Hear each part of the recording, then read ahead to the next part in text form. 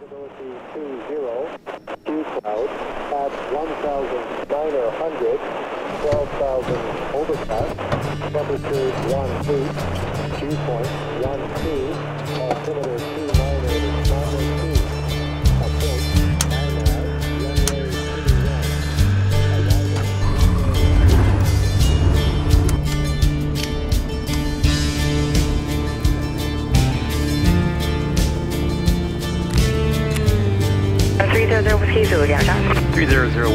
Is running up at Gander flight training, westbound departure VFR.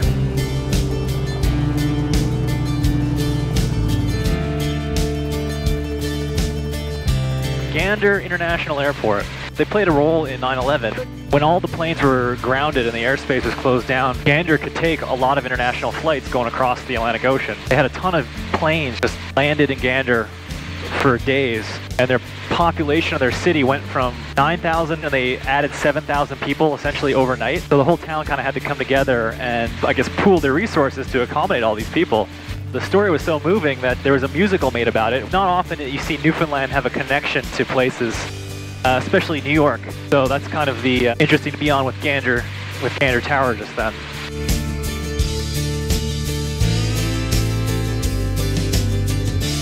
Gander to Deer Lake and got fuel. Then we departed northbound. Looks good here, but the ceiling directly north was probably around 700 feet. So we flipped a Huey, came back this way, and we're just waiting, and waiting the weather out. fell asleep in the helicopter, and the poor person that was working at the FBO was trying to shut down, and she was like, "I didn't want to knock on the bubble, but it's Friday night." so we're like, "Okay," so we got kicked out of the airport, but she rented a car for us, so that was nice. And um, I think we're just gonna get some chicken wings. Man, it's been a while since I've been in this airport. Tasting wings, coming from Buffalo and getting wings in Newfoundland. Yeah, but winging it is like the best. Yeah, I do love a good wing from winging it. Yeah, we're a disgrace when it comes to Buffalonians and wings, but what odds? Heli trip turned car trip.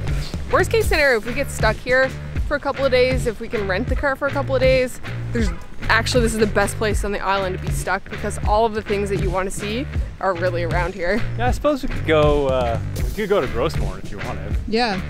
Sick.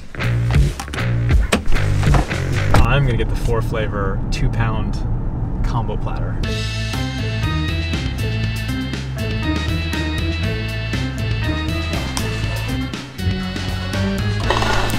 Get the boneyard. It's not the only I want to eat.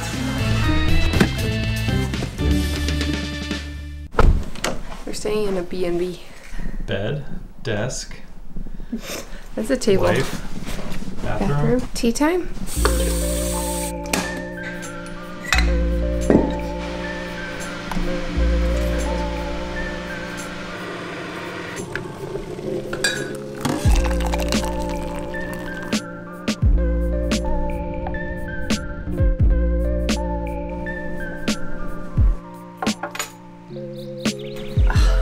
Plan, Stan? I'm gonna drink this tea and then I want to go straight to bed. I don't know why I'm so tired. It's a good thing we didn't go east and try to get to St. John's, because the whole Avalon Peninsula is covered in weather with low IFR conditions. It's nine in the morning now. We have basically till sunset to try to make it. Really, only about an hour and a half, two hours flight time. We're gonna try to make it to Quirpon Island today. We've got a couple of things on our list that we wanted to do before we head back to the island. I feel like we've been trying to just rush to destination to destination. We haven't really had time to kind of explore the island. So we have the better part of the day just to fly the one and a half hours. I think we're going to use this as an opportunity just to grab some photos, just to explore a little bit, just land in some cool spots. Ready to go? We just got to make sure that we stay on course because fuel's not as tight as it was on the Quebec coast, but we don't have an abundance of it. So.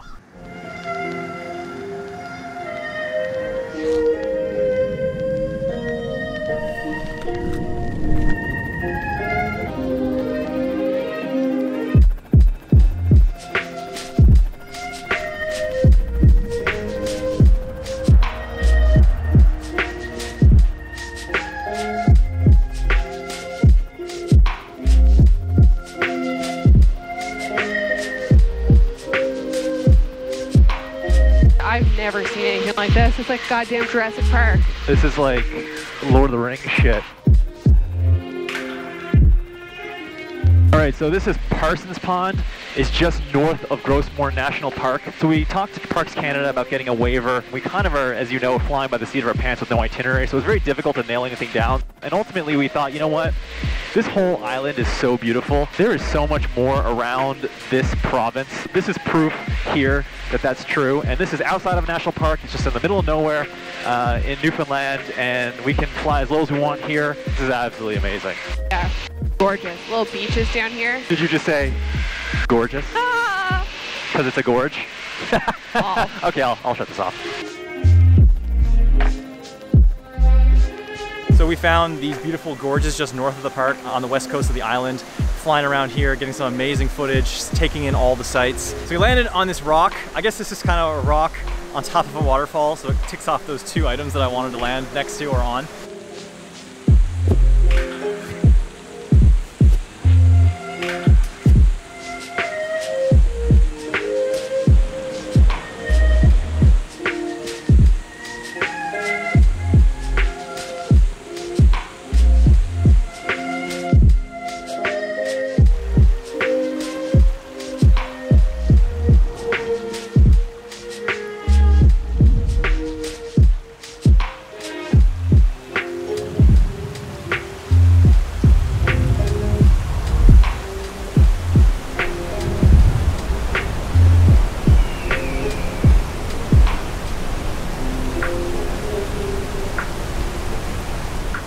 Departed Deer Lake about an hour ago, and we have the whole day basically to try to make it up north. And depending on weather, we're gonna go try to get to St. Anthony and then on to Quirpon Island. The weather in St. Anthony all morning was IFR conditions, and if we can't get back up to Quirpon Island today, we may have to just cross it off our list. But you know, as the Newfoundlanders say, dims to breaks. Is that a saying, right? That's a saying, right? Anyway, we may be able to go iceberg hunting though, because about three days ago there was an iceberg that was reported up just 20 minutes north of Blanc Sablon. I have no idea where the day will take us. So why don't we fire up here? Doors are back on, let's fire up and uh, take in some more of these gorges and make our way up the northern peninsula.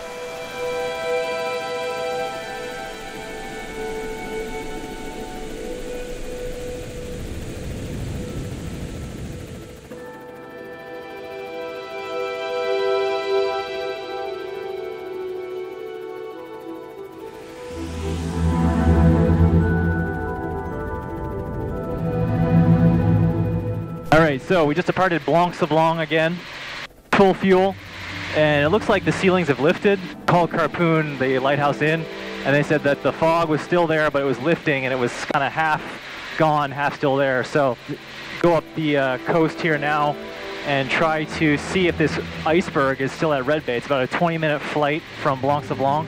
We're just about halfway there now, but it looks like some of these inlets here, there's some tight either fog or cloud cover directly hugging the land or the water. So tough to say if we're going to be able to see the iceberg. If we don't, well, Is that it? oh, there it is.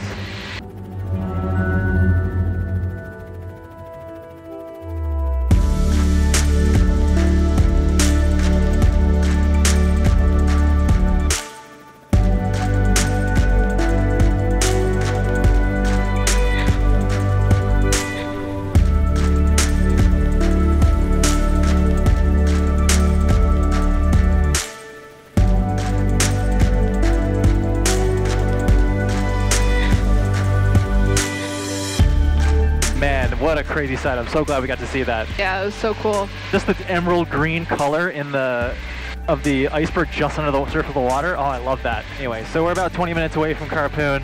I've never been here before, obviously. Becki's never been here before. They told me the helipad's going to be obvious uh, when we see it. We're coming up on the end of our trip here now, so we really wanted to get it on the on the road in the air by Monday at the latest to start our journey back. Yeah. We want to have a few days to decompress and unwind after this trip because this trip has been exhausting. Oh my god, I'm so tired. I've never been so tired. It's really windy up here. Eh, it's a bit bumpier. I can't believe we lived here for our whole entire life and never once came up here. I know. Well, we always said it though, like you take where you live for granted. Absolutely. People come to where you live as a tourist destination, and you just don't see it. Like when we were living in Vancouver, how many people at work they saw all the adventures that would be going on, every weekend, and they'd be like, "Oh my God, you've seen more of Vancouver and, B- and British Columbia than I've seen in my entire life." That's true. You spend time in a place and you don't know when that time is going to end. And we always thought we would be here forever.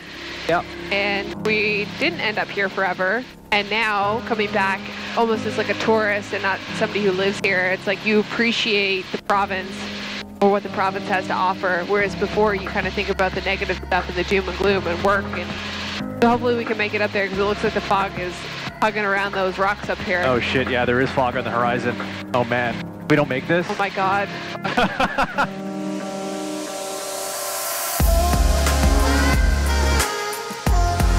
We're, this, I think this is probably the most northern tip of Newfoundland.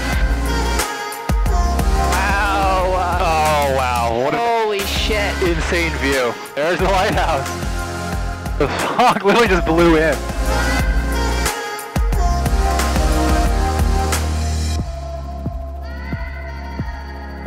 Like race to get to the helipad. Oh my god, are we gonna make it to the helipad with before the fog comes in? What the?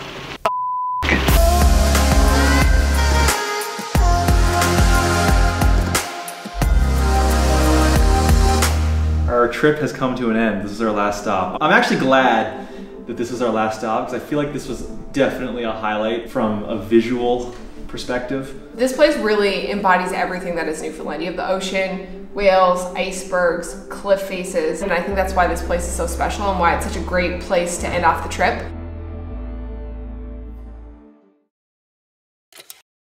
Tune in next episode of Becki and Chris try to fly their helicopter to a lighthouse, crawl through a lighthouse. Will they make it, or is it too much fun? Check us that time. Oh my god. What'd you find? Sick old plaid. Oh, Honey's a small for sure. It's a bit big. She's a bit big. The one that got away. The one that got away, man. It is actually pretty ideal. It's like the right color. It's got Newfoundland Got on this. On it. I'm going the opposite direction that the GPS is telling me to. Because you don't play by the rules. Yo, welcome to MTV Cribs.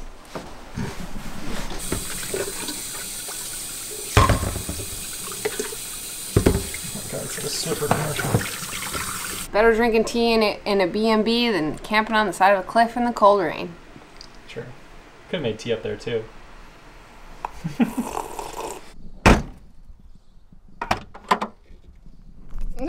What's that? Okay, we're getting packed up. Why was this closed? Uh, is there something? Is my camera bag in the way? Are you pressing the button in your pocket? Episode turns to shit when we have no idea what's going on.